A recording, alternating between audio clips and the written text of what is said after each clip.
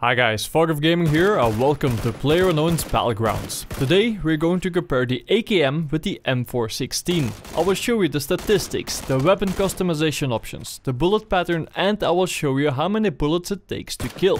Everything depends on what you find in Battlegrounds, so in the beginning you will have to take your chances with whatever gun you can find. At some point you might get the opportunity to swap an AKM for an M416 or vice versa. It doesn't matter if that opportunity presented itself because you just stumbled upon it or because you ripped it out of the cold dead hands of your enemy. We've all asked ourselves the following question. Is this swap worth it or not? And that is the question that I will try to answer for you today. The AKM is a 7.62mm assault rifle designed by Mikhail Kalashnikov, hence the name, Kalashnikov Modernized Automatic Rifle. It's a modernized variant of the AK-47 and it was introduced into service with the Soviet army in 1959. In PlayerUnknown's Battlegrounds, the AKM is for comrades in arms. The developers from Battlegrounds haven't released any official statistics yet. The only thing that they gave us are these weapon templates. I will put these on a scale from 0 to 100 and that way we can compare the AKM with the M416. The AKM is a high damage per bullet assault rifle. That is why it has a power rating of 42 and this is where this rifle truly excels. It has the highest power rating of all assault rifles in PlayerUnknown's Battlegrounds. The effective range is 60 and the stability of the AKM is rated at 34, which is great, because here it also excels with the best stability rating of all assault rifles. The firing rate is 61 and unfortunately this is the biggest weakness of the AKM, because all other assault rifles have better statistics for firing rate. The AKM uses the 7.62mm cartridge. This type of ammunition is also compatible with the Karabiner 98 Kurz, the M24 sniper rifle, the SKS and the R1895 handgun. Basically, you will be sharing these rounds if you're carrying any of the other weapons. The AKM has a 30 round magazine and like all primary weapons in battlegrounds it has a standard capacity of 500. The AKM is capable of selective fire, firing either single shots or automatic. The statistics that you saw are the basic stats, but they can be improved if you can find the right attachment. The muzzle mods are a flash hider, a suppressor for an automatic rifle and a compensator. You can also use an extended magazine, a quick draw magazine or an extended quick draw magazine, which is the best of both worlds. And you can attach 5 different sights. A holographic sight, a red dot sight, a 4x, 8x and a 15x scope. Just for info, an extended magazine allows you to carry 40 bullets per magazine instead of 30.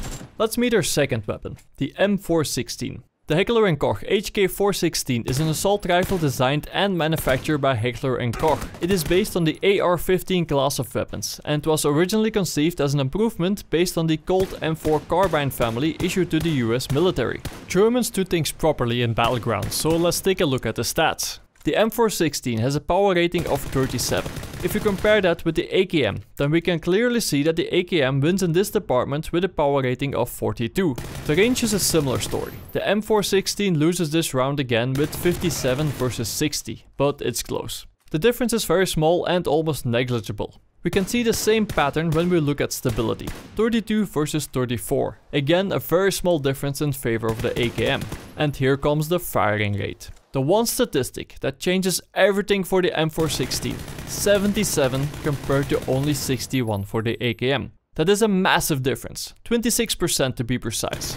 This difference is so big that the M416 can deal more damage per second than the AKM. The M416 uses the 5.56mm cartridge. This type of ammunition is compatible with the M16A4, the SCAR L and the M249 light machine gun. The M416 has a 30 round magazine and like all primary weapons in battlegrounds it has a standard capacity of 500. It can also fire single shots or fully automatic.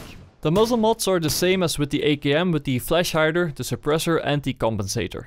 The magazines and the sights are also exactly the same, but the M416 can also attach a vertical foregrip or an angled foregrip and on top of that you can also attach a tactical stock. You will need two headshots to kill, and that is valid for both of these guns. It doesn't matter which kind of helmet your enemy is using. If you happen to run into a guy who has the highest level of body armor, then you will need 4 body shots to kill that guy.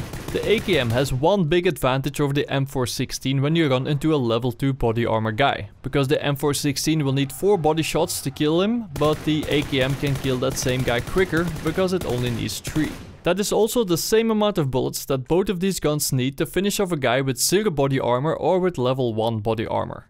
As you can see, the bullet pattern is slightly tighter for the AKM. It has a snake-like pattern, while the M416 has a less linear pattern before it pulls up and to the left. Just for info, this is uncompensated fully automatic fire. I just pressed my mouse button and that's it. I did not move my mouse to compensate for the recoil and as a result they both had 7 shots on target, but the AKM came very close to having 8 shots on target.